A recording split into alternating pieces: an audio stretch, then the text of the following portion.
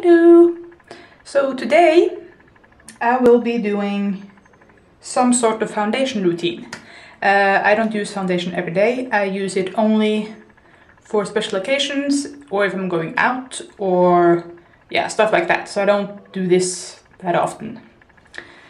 So we'll see how this goes. I take my glasses off so I can do this. And I've already washed my face and used the shiny fire. So now I grab my little primer thing that I've only used this a couple of times now and I do like it. It's nice. Um, but I think I've been using too much of it, so I'm trying to see if I can see, do this more or less properly now. Because I figure I don't really need a primer all over my face. I mean, do correct me if I'm wrong, but that seems to be the case, that primer should go where the foundation typically like moves a lot or where you have pores and things to fill in. And I do have like big gaping holes in my face. So just slap some on there. Maybe this will reach my entire face. Oh well, I don't really know if I should put that much primer under my eyes or anything, but then I'm still a newbie, so I'm sure that whoever sees this will correct me in all my mistakes which I'm actually kind of hoping for because I'm I'm here to learn and I'm here to get better at this. But you know, if no one corrects me, I'm I will have to assume I'm doing this right, and then if I'm not, then yeah.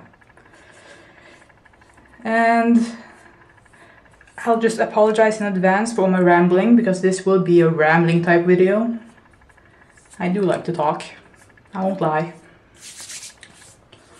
Okay, so that's the uh, primer on. I do think I should test out the uh, the light version as well.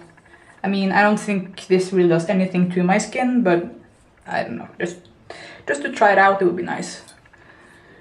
Um, yeah. And again, I'm really very nearsighted, so I might have to kind of disappear from the camera and lean into the mirror sometimes. But I'll let you know when that happens. So you're prepared! My Vitalumière by Chanel. And I have to say, I really do love this, even though I don't wear it that much. Because Chanel seems to match my color pretty nicely. I have the flat top kabuki from Sigma. It's called the F80. Like that. So we just stipple this on.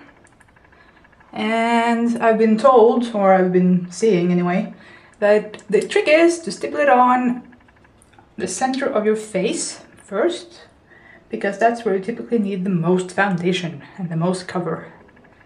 So I do as I'm told and I stipple it all on wherever I should need it.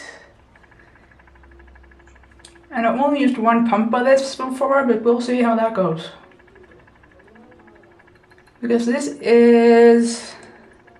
I don't know about the coverage really. I mean, since I don't wear foundation on a daily basis, I couldn't really tell you how this really is because I don't really know. I mean, on me it looks fine and I kind of like the more sheer, sheer, sheer, uh, light coverage because I I don't really like the feel of heavier foundations and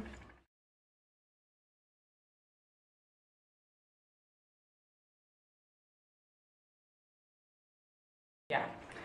Because I honestly don't know. And in a way, that's kind of annoying because I can't really reference MAC stuff when I do this. I it seems to be the thing to do. Like when you use whatever eyeshadow shade or foundation shade or anything with like a color to it, you should reference it to something people would know, and most people would know MAC shades. But I don't. Since this is a pretty I would say it's kind of lightweight foundation. So I'm going to be all glamorized today and use a bit more of this, like half a pump more so I have something to put in or cover up the, the spots where I need some extra because I look a mess. And typically when I do this, see if you can see. Oh, that is lovely. So typically when I do this, I kind of just pack the foundation on first and like kind of push it into my skin. And then I try to buff it out with the same brush a little so it's not so, uh, I guess obvious would be a good term. And then after I'm done and kind of have the coverage I want, before I set the whole thing with powder, I kind of go over everything with my clean hands and kind of smooth it out a little so it kind of prevents some streaking at least. This will look kind of strange, I realize now. Oh well. It's only for show anyway, not going anywhere. I have nothing planned because it's Sunday. And quite frankly, I'm bored. Very, very, very bored. So I thought, why not do this? So I can kind of explain everything. So now it's nice and caked on, as you'd expect with me doing foundation. Old one from H&M. See if you can see this. Focus, come on. There we go. And this is shade, it says 11, White Sand. It's really light. I haven't used this for years, but I don't really care because of my under eye area. It's really gone too. Wow, I've actually used this quite a bit. Okay, dokie. Just a little on each side like so. When I say little, it obviously means cake it on. Oh well. And then I just pat it in with my finger. Or fingers, more like. And again, I'm blind as a bat, so mirror is nice. Just pat that in there. Now it doesn't really cover up my circles because I've purchased the, well it's technically a starter kit I think, uh, from Laura Mercier. And it included the undercover pot which I'm really excited to try because I've been hearing so much good things about it. And it's in the post office. And the post office is closed on Sundays so I will have to get it tomorrow. At least. Then comes powder. Now I have a choice here between Chanel, oh wow, or Chanel. Seeing as my foundation now is really caked on, I think I'll go with this, which is the Poudre Universelle Libre and my awesome French.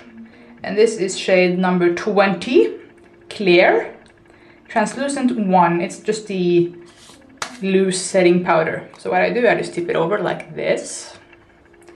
That some falls out in the cap, or quite a bit actually, in this case. So it looks like this. And I have to say though, I mean, I really do love Chanel powders and foundations and stuff. And for this, I use the large powder brush F30 from Sigma. Looks like that. And I take the, the lid of the cap and I get some of the powder on the brush and I just do like this and swirl it around so it's not so much on there. Again, me and saying not so much means cake on. Then we just go like this. I do this pretty quickly because I I have no idea what I'm doing. Pretty much. So I just kind of swirl it around and I get some more of the powder.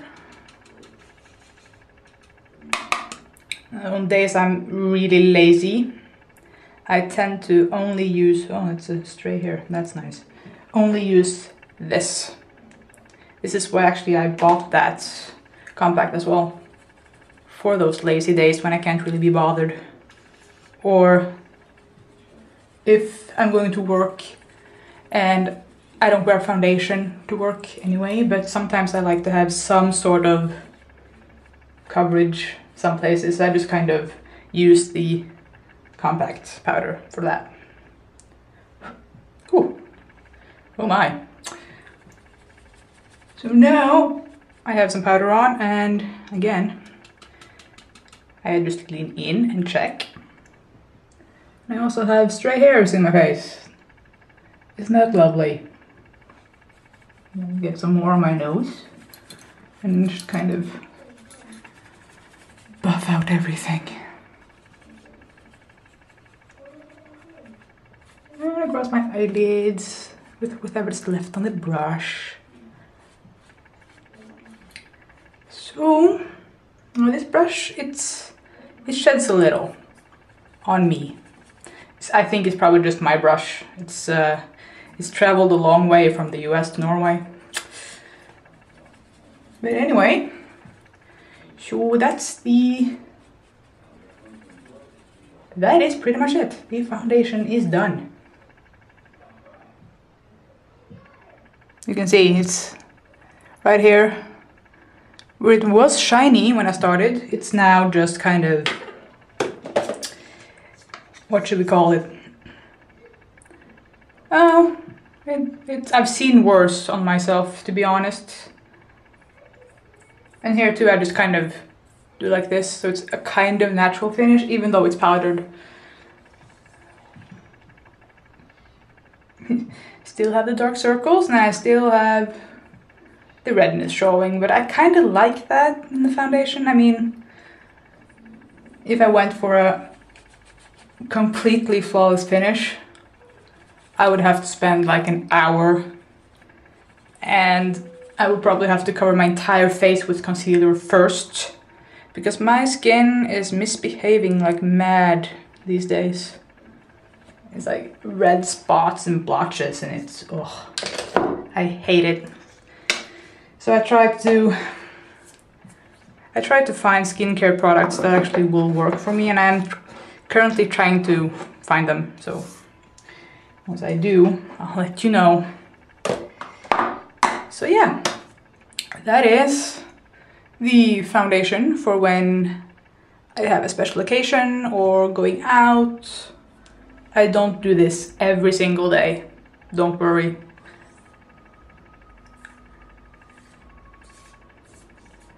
So that's pretty much it. See you next time.